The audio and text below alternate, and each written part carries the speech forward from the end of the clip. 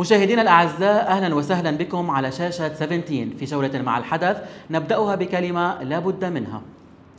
إنه قانون لعين وإنها شرعية نيابية مزيفة. إنه قانون سيء وفاسد وملغم. ينفر الناخب ولا يبرز إرادته بل يشوهها ويزورها ويبطل غاية الانتخابات. هذه صورة ووصف حقيقي عن واقع الحال الانتخابي الذي نعيشه اليوم. وهذا هو رأي علمي واضح وصريح لمجموعة من القضاة والأساتذة الجامعيين والقانونيين والمشرعين.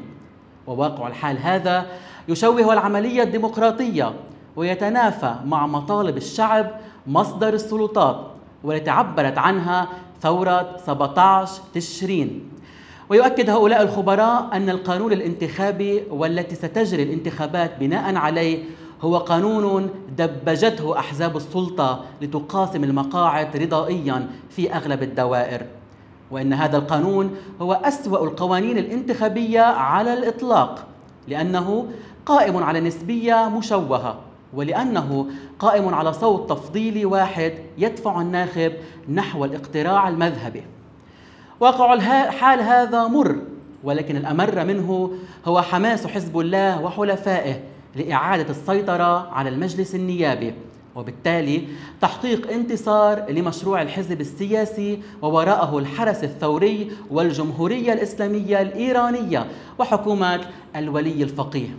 وبالتالي أيضا وصول صهر العهد المفدى ووراثة عمه في قصر بعبدة.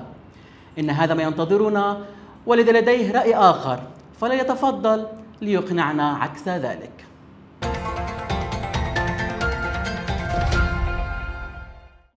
من 17 نتابع وإياكم جولتنا مع الحدث نبدأها بأهم العناوين. نواب العار يحاولون دهس الشعب بعد أن سرقوه وأذلوه وفجروه وللظالمين جولة.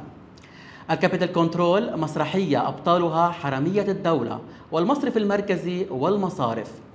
تشبيه الرئيس بري بالنبي يلاقي ردود فعل مستنكرة سياسيا وشعبيا. وفي الجولة أيضا الكباش الإسرائيلي الفلسطيني مستمر والقدس الساحة المركزية للصراع. بوتين لم يتراجع ويضغط على الخاصرة الشرقية لأوكرانيا لتحقيق انتصاراته.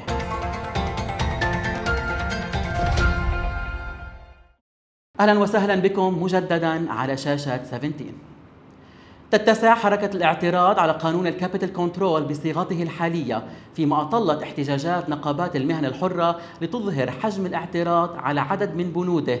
في وقت لم تحرز اللجان المشتركة تقدما ولا تزال تدرس القانون مع استمرار الخلافات بشأنه. وبالتوازي تحفظات كبيرة لجمعية المصارف في ضوء ما سرب من اقتطاعات على الودائع المصرفية وتحميل الخسائر للمودعين والمصارف فقط. مع تنصل الدولة وتحييد البنك المركزي عن التزامات سد الفجوة الكبير. دخول رئيس الحكومة نجيب ميقاتي على الخط ومسارعته في نفي ما يتم تداول به عن تفريط بحقوق المودعين وضرب القطاع المصرفي. مؤكدا أن هدفه إثارة البلبلة وتوتير الأجواء. وسنرى ما يحصل غدا عند اجتماع الحكومة. حكومة لا أجوبة لديها بعد بالنسبة لخطة التعافي. ويبقى الالتباس سائدا في المضمون. فيما ينتظرها صندوق النقد كبرهان أساسي على جدية العمل بالإصلاح. وبالتالي تبقى الكرة في ملعب السلطة لتقديم المطلوب منها قبل أن يداهمها التأخير ثم التأجيل. وفي ساحة النجمة وقبيل انعقاد جلسة مشتركة للجنتي المال والعدل قطعت جمعيات المودعين لبعض الوقت الطرق المؤدية إلى المجلس النيابي. وذلك تعبيرا عن اعتراضها على محاولات المجلس النيابي تهريب قانون ال capital control المسخ واللا دستوري وقام المحتجون بالهجوم على سيارة النائب إيلي الفرزلي وبعض النواب الداخلين المجلس. النائب إيلي الفرزلي في حديث لأحد الإعلاميين يقول أنه من حقه دهس أي إنسان يعترض طريقه حتى لو أنهم مواطنين يطالبون بحقوقهم المسلوبة. أزمة ترغيف الفقراء تابع. فقد عقد وزير الاقتصاد والتجارة أمين سلام سلسلة اجتماعات لبحث موضوع القمح والطحين. واستقبل تجمع المطاحن ممثلا كل المناطق وتم البحث في كميات القمح المتوافرة وموضوع الدعم والاتفاق المتوقع مع البنك الدولي.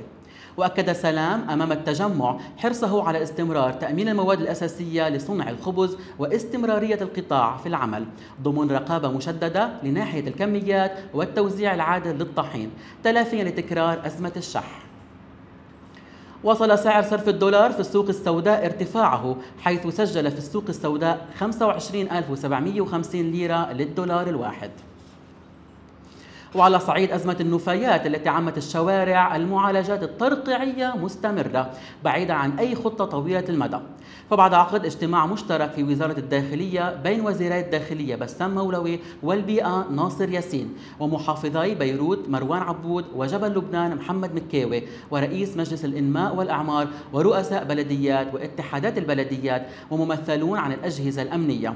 تم الاتفاق على تأمين الحماية لمطمر الجديدة وقد استؤنفت صباح اليوم أعمال رفع النفايات من شوارع بيروت على أن تستأنف في المتن وكسروين غدا اعتبر المعاون السياسي للرئيس نبيه بري النائب علي حسن خليل أنه لا يمكن لمن يطالب بالحفاظ على التوازنات في المؤسسات الوطنية ومن يحجز مراسيم تتعلق بتعيينات للفئات الثالثة وما دون أن يضغط باتجاه توقيع مرسوم مخالف لهذه التوازنات. وردا على سؤال حول كلام رئيس الجمهورية عن تعليق مرسوم غرف التمييز سأل خليل من عطل التشكيلات القضائية على مدى عامين؟ أمنيا توافرت معلومات لدى قوى الأمن الداخلي عن قيام شخص بانتحال صفة طبيب تجميل وإجراء عمليات جراحية تجميلية.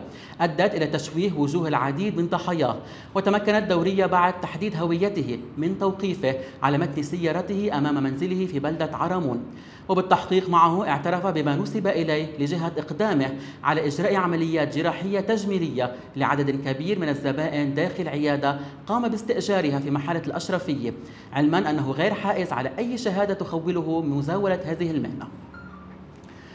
شراء الذمم وشراء الكرامات موضة انتخابية. تجارة مربحة للمرشح وخاسرة للنائب للناخب الرخيص. تقرير وفاء كارم حبوب شاي ملح وسكر ومؤخرا البيض. للأسف عاد لبنان مهد الحضارات إلى زمن الإعاشات. أحزاب الأربعين عام والأربعين حرامي. يستعرضون كراتينهم المكدسة متفاخرين بالرشوة الانتخابية الرخيصة. ولعلها كانت سياسة ممنهجة لإفقار الشعب. حتى أصبحت هذه الكرتونة هدفه. ورمزية مقلقة مع تسارع الأزمات تعيدنا إلى زمن الحرب والمجاعة. دون استثناء تنشط جميع الأحزاب السياسية في عملية تصوير وتوزيع الإعاشات على جماهيرها تحت شعار المساعدات الإنسانية. حملات تصويرية دعائية ترويجا لعطاءات الأحزاب السخية على أبواب الانتخابات. فلا يوفرون فرصة حتى في الأعياد. شوفيني يا منيرة. إضافة إلى إدارة منظومة دعم صحي للمناصرين. للأسف يصور هذا الأمر وكأنه انتصارات وإنجازات تحققها الأحزاب أمام جمهورها. فرغم استهزاء البعض إلا أن البعض الآخر يعتبر أن لولا هذه الإعاشات كتر خير كنا جعنا لكن وحده حزب الله قفز عن الجميع بإمكاناته ليعلن عن إطلاق منظومة رعاية وخدمات اجتماعية. وصل إلى حد التفنن الهندسي والفوتوغرافي في استعراض الحصص الغذائية ولصق الصور والأعلام وإنتاج الفيديوهات التي رآها البعض إمعانا في الإذلال وتبسيط لمشاكل وحاجات الشعب اللبناني ومقومات صموده. وفي ظل انعدام الإنجازات والانتصارات تسعى الأحزاب إلى تصوير كرتونة الإعاشة وجالون الزيت كانتصار ما يعبر عن مدى انفصال القواعد الشعبية عن هذه الأحزاب. أحزاب العار والإذلال والرشاوى الانتخابية مخالفات أخلاقية وقانونية يتفاخر بها من سرقونا وقتلونا وجوعونا خذوا إعاشاتكم خذوا كراسيكم بس خلوا لنا الوطن في الذكرى 39 لتفجير السفارة الأمريكية في منطقة عين مريسي ببيروت. أكدت السفيرة الأمريكية لدى لبنان دوريثي شيا أن هجمات السفارة لم تكن ضد الولايات المتحدة وحدها. وقالت في كلمة لها بهذه الذكرى اليوم هو ذكرى جليلة بالنسبة لنا. نتذكر فيها الهجوم المروع الذي أودى بحياة 52 شخصا في 18 أبريل 1983 وفي شهر سبتمبر من العام التالي. في هذا المكان هنا بالتمام فقدنا 23 شخصا إضافيا. وتابعت شيا لم تكن هذه الهجمات ضد الولايات المتحدة وحدها بل كان من بين ضحاياها أمريكيون وموظفون لبنانيون محليون إضافة إلى عناصر من قوى الأمن الداخلي في لبنان. لهذا السبب نقف اليوم متحدين كما فعلنا في كل سنة منذ العام 1983 لتكريم أولئك الذين فقدوا حياتهم من الأمريكيين واللبنانيين ولأجل تجديد التزامنا بالسلام والأمن في لبنان. في المتفرقات وجه مجلس نقابة موظفي ومستخدمي الشركات المشغلة لقطاع الخليوي في لبنان رسالة إلى الموظفين. أكد فيها التمسك باللجوء إلى كل الوسائل القانونية المتاحة للحصول على الحقوق المستحقة منذ أكثر من عامين. ومن تغريدات اليوم تغريدة لرئيس جهاز العلاقات الخارجية في القوات اللبنانية الوزير السابق الدكتور ريشار قيومجيان. جاء فيها انتخبوا من لا يستغل الدولة لمآرب شخصية وفئوية أو حزبية وانتخابية. لا تنتخبوا من عبث بالدولة فسادا عبر توظيف إسلامه وتعيين الموالين له. وتغريدة أخرى للنائب بلال عبد الله جاء فيها. قانون استقلالية القضاء الذي أنجزته لجنة الإدارة والعدل بالتعاون مع وزارة العدل وقضاتها ومجلس القضاء الأعلى ونقابتي المحامين تم سحبه من الهيئة العامة لمجلس النواب وطلب مهلة شهر لإعادة الدراسة. انقضى الشهر والمشروع ذهب ولم يعد. ربما يزعج الكثيرين إصرارنا على الاستقلالية الكاملة. وفي تغريد رد فيها رئيس حركة النهج النائب السابق حسن يعقوب على مناصري الرئيس بري واصفين إياه بالنبي. قال يعقوب كنا نتوقع الجنون الانتخابي القوى المتسلطة مأزومة المعارضة ضعيفة ومشتتة والإنفاق الانتخابي بلا سقف. وأضاف يعقوب أما ادعاء النبوة فهذا كفر وتجاوز للعقل والجنون. ربما المناصر متزلف ومستعبد. أما قبول المرشح أنه نبي فهو يشبه الوهية فرعون والنمرود. وهذا أحد أسباب عزوفنا مبكرا عن خوض الانتخابات. بمناسبة أعياد الطوائف التي تتبع التقويم الشرقي أصدرت نقابة الصحافة اللبنانية بيانا أوضحت فيه عن تعطل الصحف يومي الجمعة العظيمة في 22 نيسان 2022 وأحد الفصح في 24 منه. وذلك عملا بقراري مجلسي نقابتي الصحافة والمحررين واتحادات نقابات عمال الطباعة وشركات توزيع المطبوعات ونقابة مخرجي الصحافة ومصممي الجرافيك أزمة الصيدليات من أزمات القطاعات جميعا. ماذا يقول الصيدلي لتوضيح واقع القطاع المأساوي؟ تقرير فيفيان خداج فقدان الأدوية وغلاء أسعارها لا تقع على أصحاب الصيدليات فهم كباقي المواطنين يعانون من الأزمات التي أنتجتها سلطة الفساد والتحاصص كيف يعبر الصيدلاني مكرم أبو شقرة عن هذا الوضع الصعب؟ بالنسبة للأشخاص الذين يعانون أمراض المزمنة وما عم بيلاقوا أدويتهم بالصيدلية. المفروض يكون في عندهم ثقة كاملة بالصيدلي لأنه الصيدلي هو الخبير الأول في الدواء على جميع الأصعدة. آه، فممكن آه، الصيدلي آه، إنه يبدل الدواء بتركيبات تانية مناسبة. هلا هيدا الشيء سهل بهيدا الفترة التبديل. على أزمة الأدوية وانقطاعها بأغلب الصيدليات آه، وتفاوت الأسعار من آه، ناحية أخرى. آه، سهل العملية بين الصيدلي والمريض. صار المريض يقتنع أكثر إنه الصيدلي يبدل له الدواء. وكيف يتعاطى الصيدلي مع الذين لا يملكون ثمن الدواء؟ بحاول الصيدلي إنه يبدل الدواء بدواء مماثل وسعر أقل. هيدي بالدرجة الأولى هيك عم نساعد الناس. آه، في بعض الجمعيات الخيرية وبعض الأشخاص عم بيتركوا ودائع مادية آه، كمساعدة للأشخاص اللي أكثر آه، حاجة للدواء. كمان هذا موضوع تاني عم نساعد فيه الناس. الديات اللي عم بعيش الصيدلي كل يوم بصيدليته هن كتار بس كلك الأهم منهم. أول شيء فقدان بعض الأدوية خاصة أدوية الكرونيك تبع الأمراض المستعصية. آه، ثانيا تفاوت الأسعار اللي عم بيواجهها الصيدلي كل يوم آه، على حسب سعر صرف الدولار. آه، هيدي مشكلة تانية آه، في عنا كمان آه، المواصلات والتأخير بتسليم بعض الأدوية والشروط اللي عم تضع الشراك على الصيدلي ليستلم طلبيته. كلنا في الهم ضحايا والخلاص يجب أن يكون في أيدينا لنتحرك. أما المواطن الذي يصارع من أجل الحصول على دوائه فكيف له أن يقتنع بدواء جينيريك لم يعتد عليه من قبل؟ في أنبائنا العامة دعا مندوب فلسطين لدى الأمم المتحدة رياض منصور مجلس الأمن لتوفير حماية دولية للشعب الفلسطيني من العدوان الإسرائيلي لافتا إلى أن هناك موقف موحد في الجلسة المغلقة لمجلس الأمن إزاء العدوان وسيلتقي منصور اليوم مع كتلة عدم الانحياز لمواصلة الضغط على إسرائيل مؤكدا أننا طلبنا توفير الحماية وهذا الأمر من أولوياتنا في غضون ذلك أعلن الجيش الإسرائيلي اعتقال خمسة فلسطينيين مطلوبين في الخليل وبيت لحم ومخيم بيلاطة وشرق نابلس فيما ذكرت وسائل إعلام إسرائيلية أن إسرائيل قررت إغلاق باحات الأقصى أمام دخول اليهود ابتداء من يوم الجمعة وحتى نهاية شهر رمضان. وفي الوقت الذي دعت فيه جماعات الهيكل لساحات الحرم القدسي لمناسبة عيد الفصح تواصل الشرطة التضييق على الفلسطينيين ونصبت الحواجز داخل القدس القديمة وعند الطرقات المؤدية إلى أبواب الأقصى. ومنعت الكثير من المواطنين خاصة الشباب من الدخول الأقصى لأداء صلاة الفجر. على صعيد آخر وقعت أزمة بين الأحباش الإثيوبيين والأقباط المصريين في مدينة القدس الذين تعرضوا للاعتداء على أيدي إثيوبيين في دير السلطان بالقدس بسبب وجود علم مصر على أحد أبواب الدير حسب ما صرح به مطران الأقباط في القدس قائلا الأحباش الإثيوبيون استغلوا التجمعات التي تأتي من جميع الأماكن للدير في أسبوع الآلام. لوضع العلم الإثيوبي عليه وأضاف نريد أن نصلي في سلام ونريد أيضا أن يصلي غيرنا في سلام. ولكن الإثيوبيين يريدون تحويل دير السلطان لمستوطنة إثيوبية. وأنا مش حسكت.